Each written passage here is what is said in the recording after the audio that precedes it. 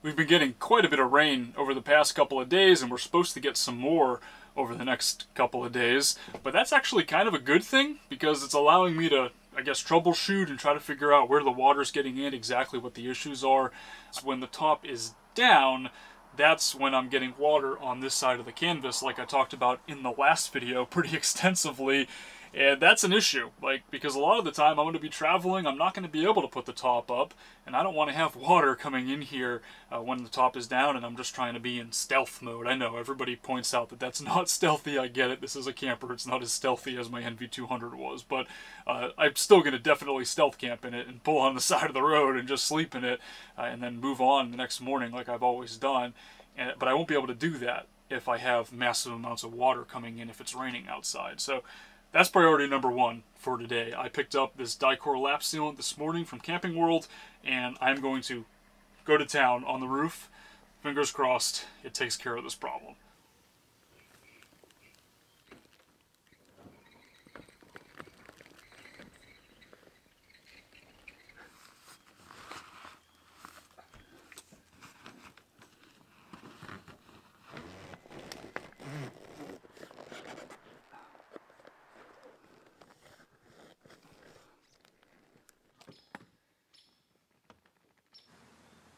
Trying to get the top down and lined up appropriately like this is definitely the hardest part. You know, if you're using this thing to go camping every once in a while, it's just part of it. it comes with the territory. It's an older camper, but when you're trying to live out of it and do this almost every day, it's a, it's a huge pain in the butt.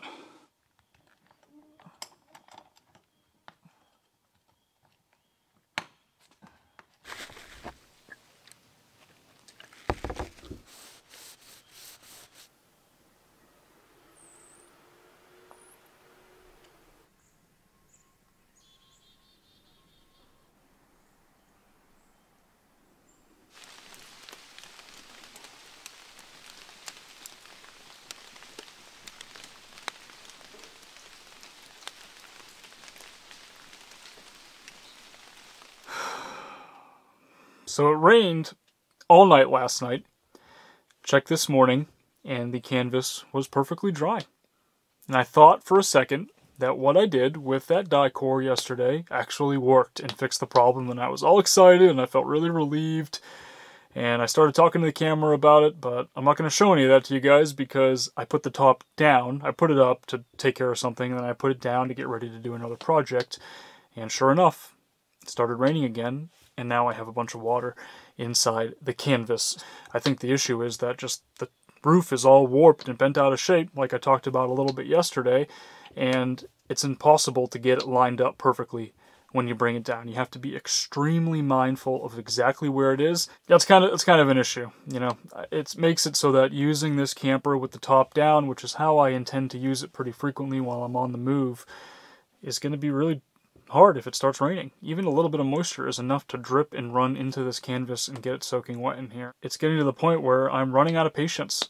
And I, you know, I will say that I did look at a newer camper last week. I went and just put my eyes on one and got to got a feel for it. And obviously, it's a lot nicer. It has a lot more, you know, comforts and is, is modern and, and doesn't leak. So like those are are good things. I'm just I'm at this point where it's like, what am I doing? You know, at this point this camper is a loss. It's sunk cost fallacy. Like, I'm not going to get back even close to what I bought it for. I'm, I'm at peace with that. It is what it is. You know, I definitely overpaid for this. I didn't recognize some of the exterior issues that were going on with it, and I bought it. And now I don't feel comfortable selling it for what I bought it for, knowing that there are other things that need to be addressed. This camper is a good project camper. It's great for someone like the previous owner where it's just in their yard and they're tinkering with it and they take it camping a few times a year with their family. But for someone that's trying to make this into a home and actively live in it at the moment, literally right now, that is getting to be really frustrating.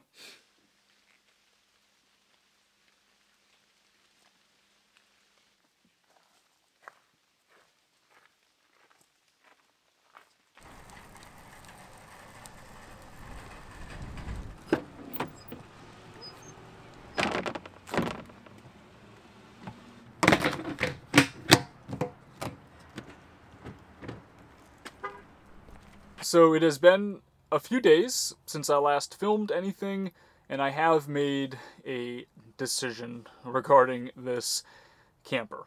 I have decided that I am going to uh, move on from it and get a new camper. I've placed a, a, deposit down on one at a local RV dealer. I'm excited to show it to you guys at some point in a future video.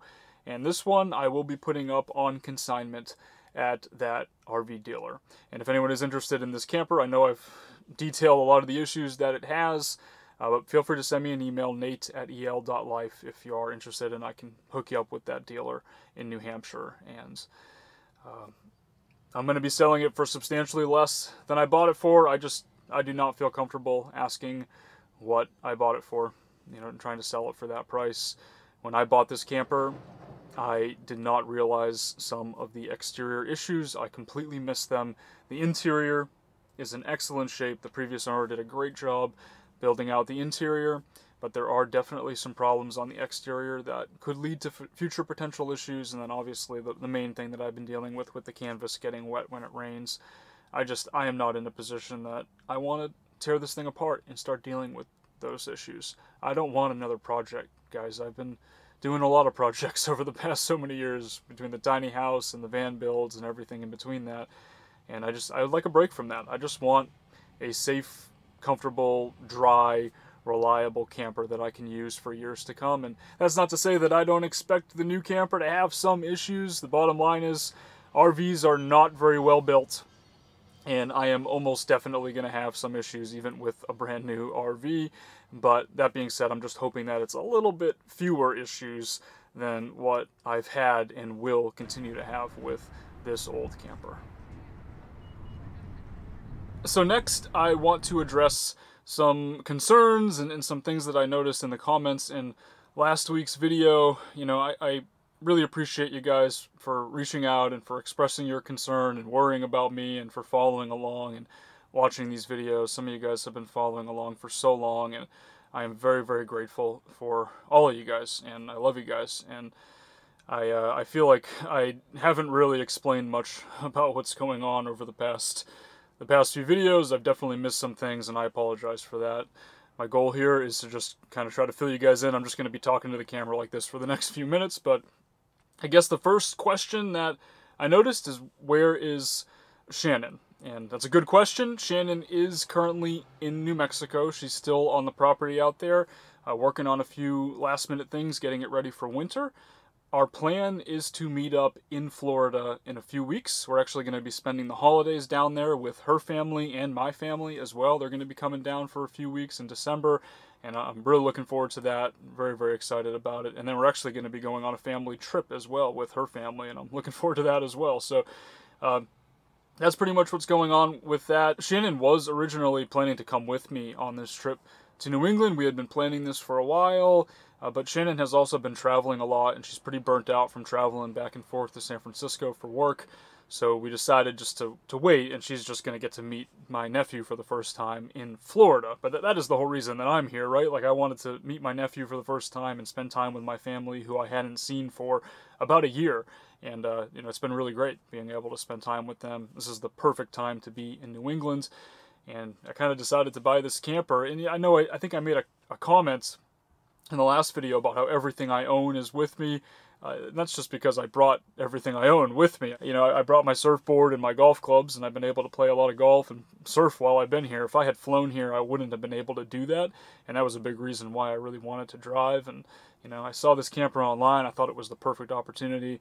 Unfortunately, it didn't work out like that. The next thing I want to address is the property in New Mexico. Uh, it does seem like there's a little bit of confusion about that. Uh, folks seem to think that we bought that property to like live out there long term and, and basically kind of settle down there.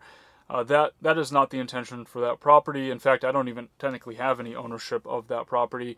Shannon is working with an investor out there. Uh, the investor basically fronted the capital for the property, and Shannon has given some of her time, and obviously I have as well, to help try to maintain it and build it up that property is strictly an investment. The goal is for it to be like an off-grid retreat. There's going to be numerous different structures on it. There's the cabin there now, obviously the tiny house, and then anything else that we add down the line, possibly some campsites as well. And, the goal is to, to rent them out as like little vacation rentals. It is in a relatively touristy area. It's a really beautiful area, and uh, there are similar properties like that around. So uh, it seems like a pretty good investment opportunity. And that is what it is. It's it's an opportunity. Shannon and I want to pursue opportunities when they are presented to us, and this this was something that came up, and you know we're very very excited about it. We've enjoyed doing it. Eventually, we'll move on to the next opportunity, and hopefully, between the two opportunities, we'll be able to travel a little bit and live out of the new camper that I'll be picking up, and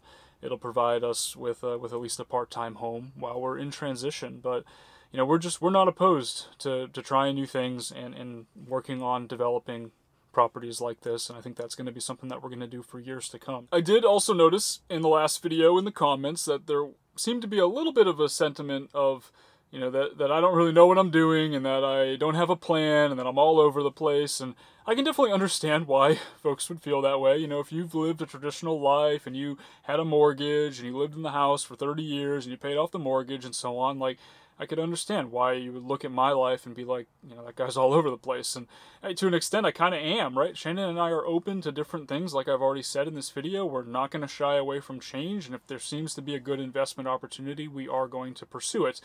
Uh, so that all being said, you know, when you look at some of the things that I've done, like I bought the NV200 and then I fixed it up and I lived in it for almost two years and then I sold it. And then I bought the HiAce and did the same thing all over again and I sold it. And then I bought the tiny house shell and I spent a good portion of this year fixing it up and building it out. And well, a couple of weeks ago, I did sell it. I, I sold it to the investor of the property in New Mexico that I was telling you guys about. Uh, it just made a lot more sense for them to have ownership of the tiny home. It was technically fully mine. All the money that went into it, for the most part, was my money, and obviously I put most of the, most of the time into it as well, uh, building it out. So it just made a lot of sense to to sell it to them so that they could then rent it out as a vacation rental alongside the cabin. Regarding you know the NV200 and the HiAce and the tiny home.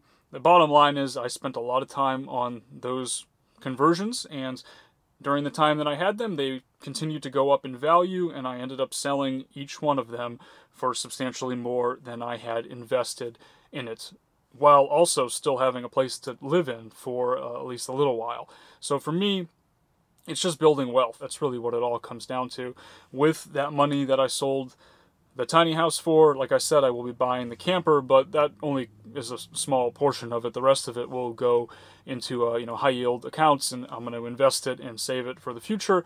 At some point, I think it's totally possible that I will buy a small piece of land somewhere out you know rural area, similar to the whole New Mexico thing that Shannon and I could possibly build a little cabin on. And, and go from there down the line, possibly rent that out, do an Airbnb kind of thing, or whatever it may be.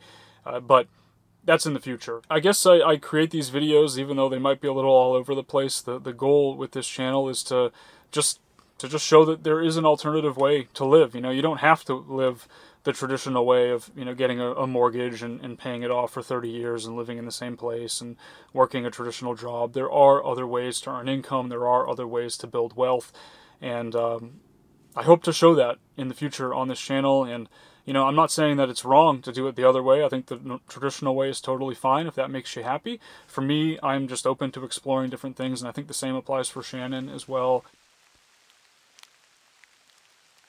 I hope this video clears up some of the confusion from the last video. Again, I apologize for creating that. I didn't really explain things too well, and I, I can see how some folks might have jumped to some of the conclusions that they jumped to.